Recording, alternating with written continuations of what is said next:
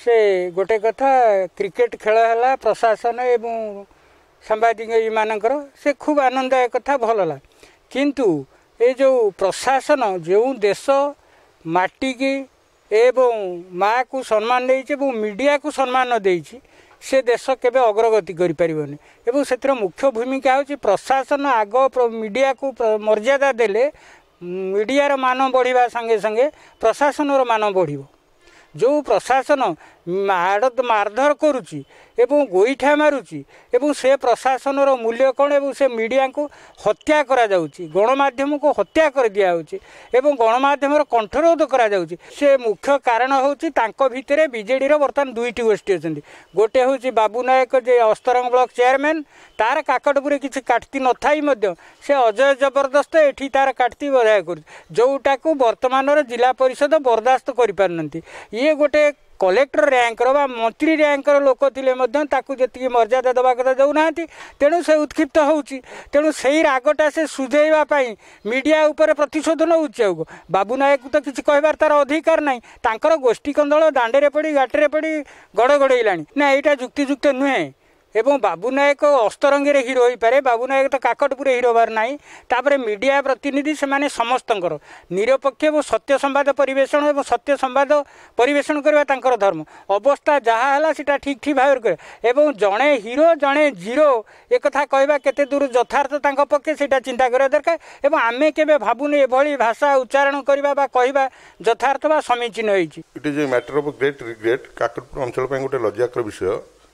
ଗୋଟେ ଲୋକ ପ୍ରତିନିଧି ଆଉ ସାମ୍ବାଦିକମାନଙ୍କ ମଧ୍ୟରେ ଯେଉଁ ସୌହାର୍ଦ୍ଦ୍ୟପୂର୍ଣ୍ଣ ବାତାବରଣ ଖେଳ ହେଉଛି ଖେଳ ପୂର୍ବରୁ ଅସ୍ତରଙ୍ଗ ବ୍ଲକ ଅଧ୍ୟକ୍ଷ ସ୍ୱାଧୀନ ନାୟକ ଆଉ ଜିଲ୍ଲା ପରିଷଦ ଅଧ୍ୟକ୍ଷ ଜ୍ୟୋତିର୍ମୟ ଦଳାଇ ବିଭିନ୍ନ ମିଡ଼ିଆକୁ ବାଇଟ୍ ଦେଇ କହିଥିଲେ ଯେ ଆମ ଭିତରେ ଗୋଟେ ଭାଇଚାରା ସମ୍ପର୍କ ସୃଷ୍ଟି ପାଇଁ ଏ ଖେଳ ଆୟୋଜନ କରାହେଇଛି।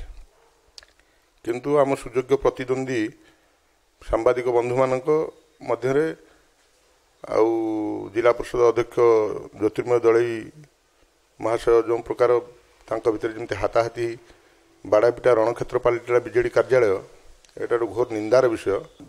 ଯଦି ଜଣେ ଅପାରଗ ଅପରିପକ୍ୱ ରାଜନୈତିକ ପରିପକ୍ୱତା ନଥିବା ବ୍ୟକ୍ତିବିଶେଷଙ୍କୁ ବଡ଼ ବଡ଼ ରାଜନୈତିକ ପଦବୀରେ ଅଧିଷ୍ଠିତ କରାଯାଏ ତାଠୁ ଅଧିକ କିଛି ଆଶା କରାଯିବନି। ଏଇ ଏଇ ଏଇ ଟାଇପ୍ର ଘଟଣାକୁ ଦେଖିବାକୁ ମିଳିବ।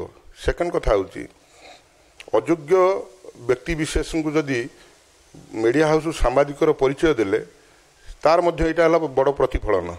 ରାଜ୍ୟ ସରକାର କୋଭିଡ଼ କଟକଣା ପାଇଁ କେତେ ହଜାର ହଜାର କୋଟି ଟଙ୍କା ଖର୍ଚ୍ଚ କରି ବର୍ତ୍ତମାନ ଭାରତ ସରକାରଙ୍କ ଟିକସଦାତା ଭାରତ ସରକାରଙ୍କ ଜନସାଧାରଣ ଟିକସଦାତା ଗରିବ ଜନସାଧାରଣ ଖାଇବାକୁ ପାଉନାହାନ୍ତି। ସେହି ସମୟରେ ଲୋକପ୍ରତିନିଧିମାନେ ବିଶେଷ କରି ସାମ୍ବାଦିକମାନେ ୱିଦାଉଟ୍ ମାସ୍କ ଗ୍ୟାଦରିଂ ହେଇ ବାଡ଼ାପିଟା ହେବା କୋଭିଡ଼ କଟକଣାକୁ ଉଲ୍ଲଙ୍ଘନ କରିବା ଏଇଟା କେବେ ଗ୍ରହଣୀୟ ନୁହଁ ସ୍ପୃହଣୀୟ ନୁହଁ ମଧ୍ୟ।